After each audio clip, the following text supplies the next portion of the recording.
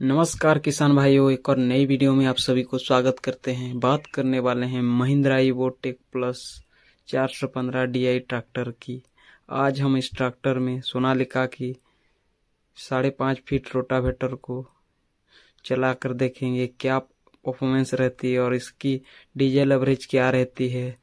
आज इस वीडियो में आप सबको पता चल जाएगा और क्या फ़ील्ड में अच्छा परफॉर्मेंस कर पा रहा है या नहीं पा रहा है ये ट्रैक्टर।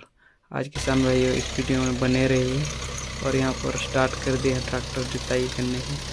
और आपको बताएँगे इस ट्रैक्टर की डीजल एवरेज कितनी रहती है और क्या ये ट्रैक्टर दम तोड़ रहा है हार्ड मिट्टी पे या नहीं, इस वीडियो हम ज़रूर देखें।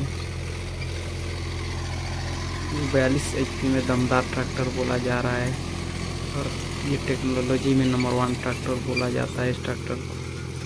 ज़बरदस्त परफॉर्मेंस कर रहा है यहाँ पर दोस्तों और बहुत ही अच्छी जुताई कर रहा है रोटावेटर में।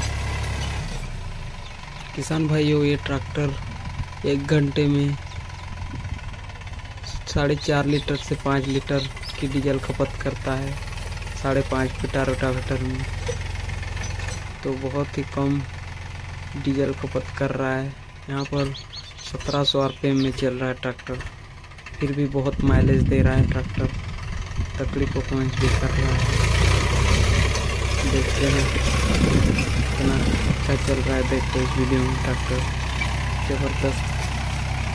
बिल्कुल भी नहीं दब रहा है ट्रैक्टर दोस्तों, मेरे वीडियो अच्छा लगे तो प्लीज़ लाइक एंड सब्सक्राइब करो।